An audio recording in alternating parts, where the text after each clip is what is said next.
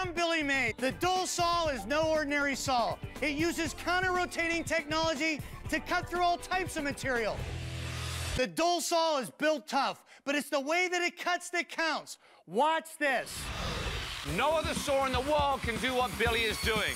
Billy just set the dual saw right down in the middle of this and cut with no bite, no kick, and no splinters. This saw truly is in a league all by itself. That's the power and precision of the dual saw.